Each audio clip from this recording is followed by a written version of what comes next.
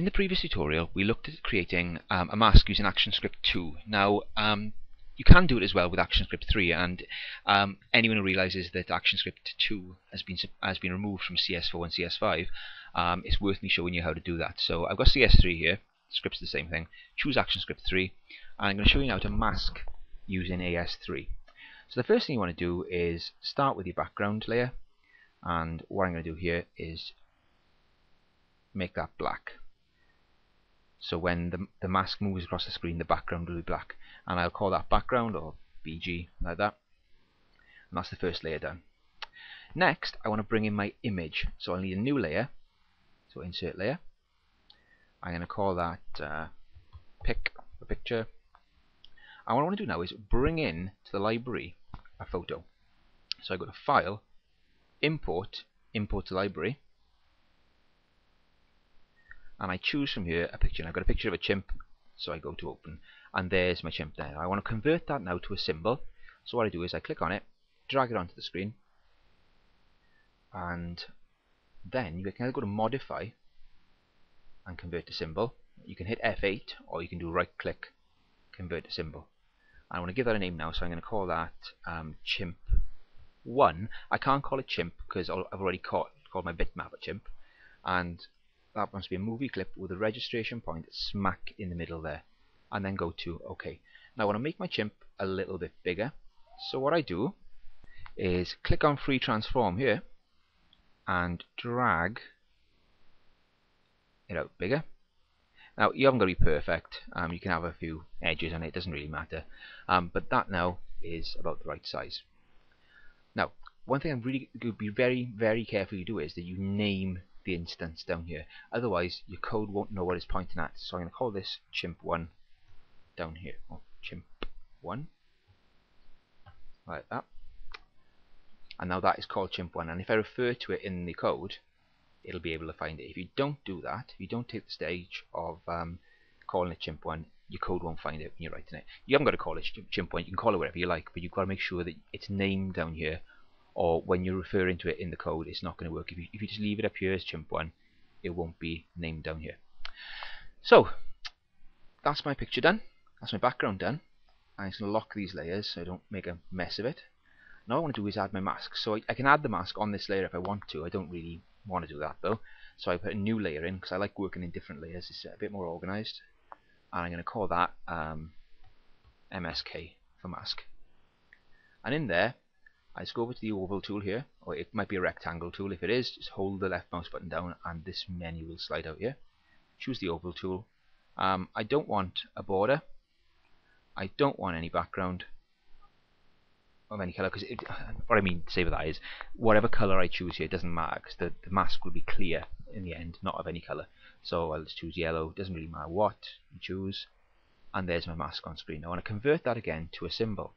So I choose the select tool here, click on the symbol, right click, convert to symbol.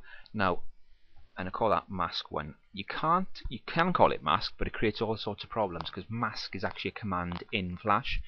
So you want to be careful that you don't call it something that is already a, a statement in Flash. So I call it mask one, and then you go to OK. Now don't forget now you've got to name the instance down here as well. So mask one. Um, now you can have different names here and here, but really it's not a good idea. So whatever you name it here, make sure you name it down here as well. Right, next step now is to make this mask move, because at the moment if I just ran this, it'll do nothing, it'll just be a picture of a, a chimp with a massive yellow spot on his face. So you want to turn this now into a mask. Now it's different here from ActionScript 2. In ActionScript 2 you would have coded on the mask itself there, on the actual spotlight bit in ActionScript 3 you code in a separate layer. So I go to insert layer and I call this a, a script, ASC, ActionScript. You can call it whatever you like again. And in here now I'm going to do the code. So I click on this frame here in the ActionScript layer. I'll just lock the mask so I don't make any mistakes again. And in there I go down and edit the ActionScript for this object. Now you've got to remember now what I've called things. So I call it chimp1 and I call it mask1. So the first thing I do is um, say what the mask is. So I say chimp1 dot mask and you can see now I didn't call it mask because mask is actually a command equals mask 1. So that tells it that the mask for the chimp image is mask 1.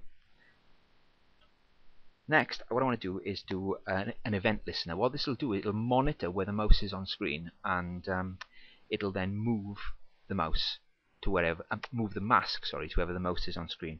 So I type in mask one dot add capital E event capital oops capital L add event listener.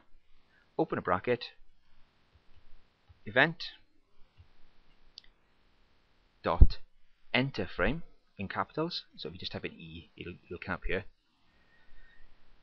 And then comma, move, mask. Close the brackets, semicolon. Oh, I've also forgotten to put a semicolon up here. That wouldn't have worked if I'd forgotten the semicolon. Now what this will do, the event listener will look on every frame which is running. It's running at 12 frames a second and it'll move the mask to whatever specifications I provide. Now next I have in function move mask, so this allows the mask to move. Oops. Capital M. Function move mask e colon event is void. I won't explain that for now. I'll just leave that there. Then I want another squig oh, down a line, squiggly bracket now, shift and the button next to P. Then I type in mask1 dot x. So what I'm doing is I'm setting where mask1 will be on the x-axis, and this will be set wherever the mouse's x-axis is. And then mask2, oh, mask1, sorry, mask2, mask1 dot y-axis equals mouse y. Down another line, close the squiggly brackets, and I'll just check that for errors now. Semicolon, add event listener, no, no, it looks okay for now. If there's any bugs, we'll, we'll sort them out later. So what this does is, the event listener looks where the pointer is every frame, and it moves the mask to wherever the mouse is on the X or the Y axis corresponding to the mask. Right, let's give that a go. So if I now do control enter,